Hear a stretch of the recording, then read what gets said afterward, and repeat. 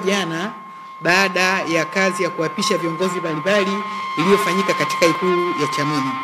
Uh, wote tunafahamu kwamba Mheshimiwa Rais jana aliwaapisha viongozi na alitoa maelekezo mbalimbali ambapo uh, alielekeza pamoja na mambo mengine kufunguliwa kwa vyuo vyote nchini pamoja na wanafunzi wa kidato cha sita kurejea shuleni na kuanza masomo kuanzia tarehe moja mwezi wa sita elfu mbili ishirini ishirini. Sasa kufuatia maelekezo hayo na maagizo ya Mheshimiwa Rais, Wizara ya Elimu, Sayansi na Teknolojia ambayo Mheshimiwa Rais hususani alisema kabisa kwamba anatuelekeza tujipange. Tumepokea maelekezo ya Mheshimiwa Rais na tumejipanga kuyatekeleza kama ifuatavyo. Kwanza, kuhusu wanafunzi wa kidato cha sita. Uh, kuhusiana na wanafunzi wa kidato cha sita, wizara inapenda kuzielekeza shule zote nchini ambazo zina wanafunzi wa kidato cha sita kufanya maandalizi ili waweze kuanza rasmi masomo mnamo tarehe moja Juni ishirini ishirini. Kwa hiyo hii ina maana kwamba uh, wanafunzi ambao shule ambazo zi, ni za bweni zinaweza kuanza kuchukua wanafunzi kuanzia tarehe thelathini mwezi wa tano, kwa maana ya kwamba wanafunzi wanaweza kwenda shuleni kuanzia tarehe thelathini mwezi wa tano ili inapofika tarehe moja wawe tayari kuanza masomo. Lakini pia na shule ambazo ni za kutwa zenye wanafunzi wa kidato cha sita zifanye maandalizi ili inapofika tarehe moja mwezi wa sita basi waweze kuanza masomo kama ambavyo Mheshimiwa Rais ameelekeza. Na hapa napenda kuweka msisitizo kwamba kwa sasa hivi shule ambazo zinafunguliwa ni zile tu ambazo zina wanafunzi wa kidato cha sita. Kwa hiyo asije akatokeza mwanafunzi mwingine wa kidato cha pili, wa kidato cha kwanza akaenda shuleni. Kwa sasa kama ambavyo Mheshimiwa Rais aliisema, wao utaratibu wao utaelezwa baadaye. Sasa kuhusu mitihani ya kidato cha sita, wanafunzi wa kidato cha sita watafungua shule tarehe moja mwezi wa sita kama ambavyo tayari imeshaelezwa, na watakuwepo shuleni wakiwa wanasoma na kufanya maandalizi ya mitihani hadi tarehe 28 mwezi wa sita. Mitihani ya kidato cha sita itaanza rasmi tarehe 29 Juni 2020 na itafanyika hadi tarehe 16 Julai 2020. Na mitihani hiyo ya kidato cha sita itaenda sambamba na mitihani ya ualimu. Kwa hiyo natoa wito kwa Baraza la Mitihani kuhakikisha kwamba wanasambaza mara moja ratiba ambayo inaonyesha mitihani itakavyofanyika kuanzia tarehe 29 Juni hadi tarehe 16 Julai 2020.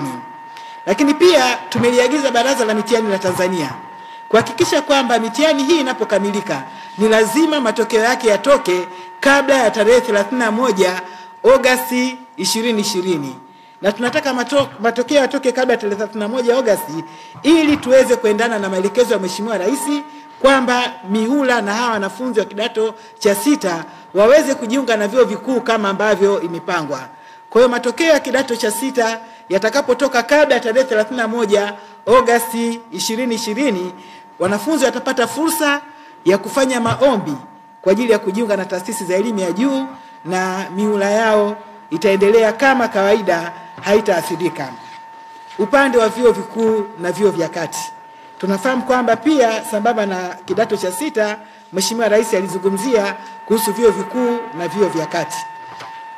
Kwa hiyo kama wizara tunapenda kuviagiza vyuo kufanya maandalizi muhimu ili viweze kufunguliwa kuanzia tarehe moja Juni, na tunazielekeza mamlaka za vyuo vikuu kwa maana ya mabaraza pamoja na seneti kuweka utaratibu ambao watahakikisha kwamba wana masomo yanaendeshwa katika mfumo ambao utakuwa ni wa kufidia pia ule muda ambao wanafunzi wamepoteza muda wa masomo wakati serikali ilikuwa imechukua hatua ya kufunga shule na vyuo kwa ajili ya kuzuia kuenea kwa virusi vya korona.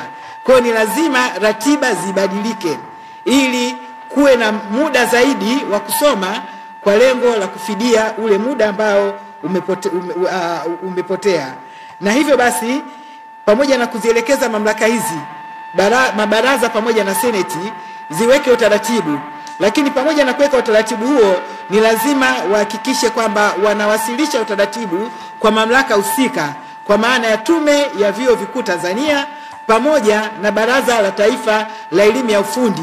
Ifikapo tarehe 27 wawe wameleta wao wamewasilisha kwa mamlaka husika ili tuweze kufahamu wamepanga nini, kwa sababu pamoja na kwamba wana uhuru wa kupanga, lakini kama serikali lazima pia tufahamu ratiba yao, kwa sababu bodi ya mikopo inapaswa kuwawezesha wanafunzi, na hivyo ni muhimu ikafahamu ratiba ya kila chuo ili iweze kujipanga kikamilifu, lakini tunasisitiza kwamba hakutakuwa na muda wa ziada, kwa maana ya kwamba ratiba zao zizingatie kwenda kufidia ule muda uliopotea, ili mwisho wa siku tuweze kuhitimisha masomo na tusije tukaathiri mzunguko wa masomo katika mwaka ishirini ishirini. Kuhusu mikopo ya wanafunzi wa elimu ya juu, nafahamu kwamba Mheshimiwa Rais hapa alizungumza kwa msisitizo kwamba asingependa kuona vijana wake wanaenda shuleni na kupata usumbufu wa kupata mikopo. Hapa ningependa kuhakikishia Watanzania kwamba fedha kwa ajili ya mikopo ya wanafunzi wa elimu ya juu kwa ajili ya kulipa muhula tatu tayari serikali ilikwishatoa na tunazo ziko bodi ya mikopo shilingi bilioni 122. Kwa hiyo hapa kinachotakiwa ni vyuo kuhakikisha kwamba vinaandaa nyaraka zote muhimu ili wanafunzi wanapofungua waweze kupata fedha zao, na hizi zinajumuisha fedha za wanafunzi, lakini pia na fedha kwa ajili ya ada za wanafunzi.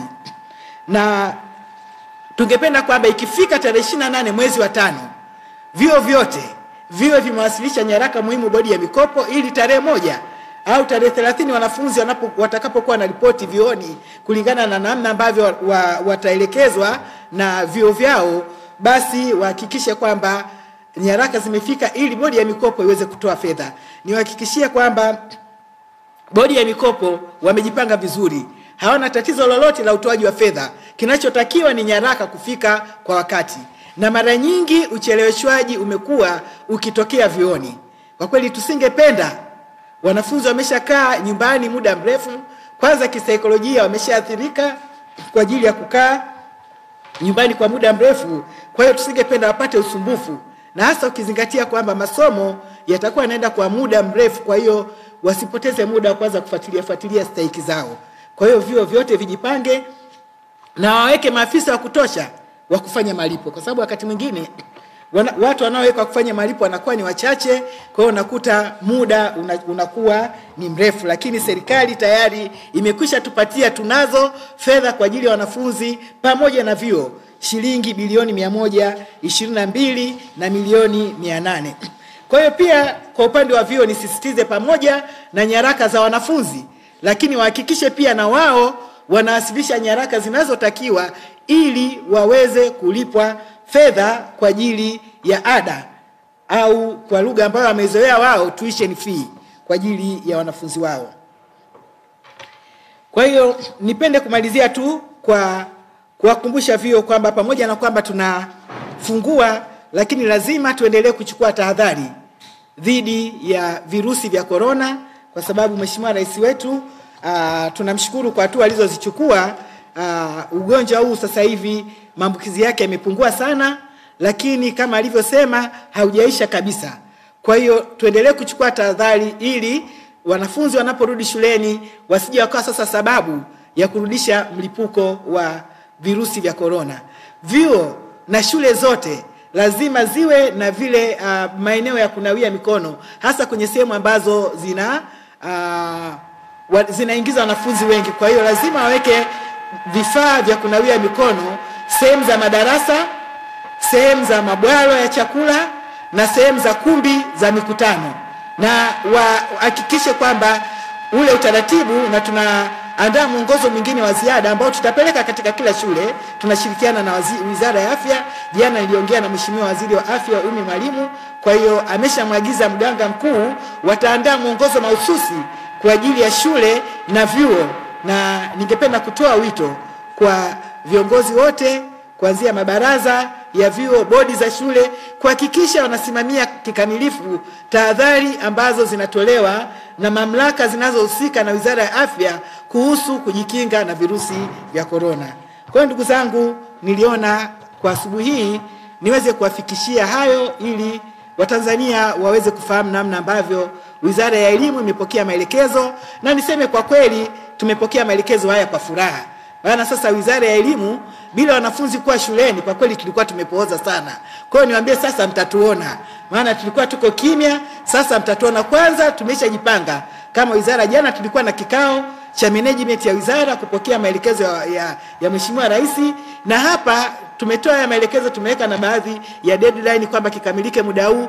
Tutakwenda hata kuangalia ni namna gani hivi vyuo vimejipanga kuhakikisha kwamba vinatekeleza na vinaweka maandalizi stahiki kwa ajili ya kuwapokea wanafunzi kuanzia tarehe moja mwezi wa sita. Ni wasihi sana wazazi kuhakikisha kwamba wanaandaa vijana wao mapema na waweze kufika kwa wakati. Nawashukuru sana, nawatakia siku njema. Asanteni sana.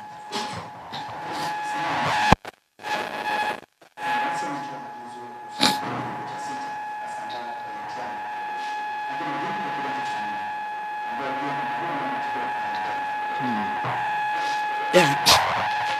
Uh,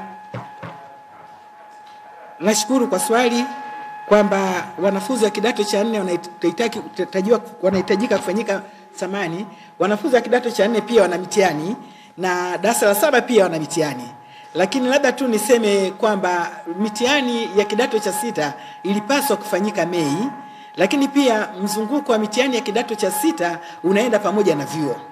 Kwa hiyo kama vyuo vimefunguliwa ni lazima pia na wanafunzi wa kidato cha sita wakamilishe, ili kama alivyosema Mheshimiwa Rais, mzunguko uende uh, kama ilivyopangwa.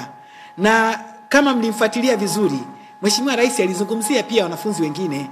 Alisema kwamba tumeanza na hawa wanafunzi wa vyuo ambao wanajitambua na wanafunzi wa kidato cha sita ambao ukiangalia hata kiumri ni wanafunzi ambao tayari umri wao umekuwa mkubwa, nao pia wanajitambua vizuri, na akasema kwamba tutafanya tathmini kulingana na hali ya maambukizi ya virusi vya korona inavyoendelea, na niwahakikishie Watanzania, na kama ambavyo tumekuwa tukimwomba Mungu wetu na amejibu maombi, na tuna siku tatu za kutoa shukrani kwa Mwenyezi Mungu kwa kusikiliza maombi yetu. Mpaka sasa nchi yetu iko vizuri sana kuhusiana na huo ugonjwa wa virusi vya korona. Tuna imani kwamba Mungu wetu ni mwema, ataendelea kulilinda taifa letu la Tanzania, na hivyo basi tathmini tunavyoifanya kadi ambavyo tutaona hali ikiendelea kuwa vizuri, basi tutatoa uh, taarifa kuhusiana na wanafunzi wa kidato cha nne, wanafunzi wa darasa la saba, tuna kidato cha pili pia wana mitihani na wanafunzi wa darasa la nne, lakini inshallah Mwenyezi Mungu akijalia tunamwomba hali iwe shwari ili wanafunzi wote kwa ujumla wao waweze kurejea shuleni. Kwa hiyo cha msingi ni Watanzania wote kwa ujumla kuendelea kuzingatia tahadhari zinazotolewa, kwa sababu kadri Watanzania watakavyozingatia, basi ina maana hata maambukizi yatapungua, na hivyo hata ile tishio la kusema kwamba wanafunzi wakiwa pamoja litaondoka, na hivyo maamuzi ya serikali ya kuweza kufungua shule zote au vio vyote amini shule zote za msingi na sekondari au hata kuona uwezekano wa kuwapeleka kidato cha nne na darasa la saba yanaweza kufanyika.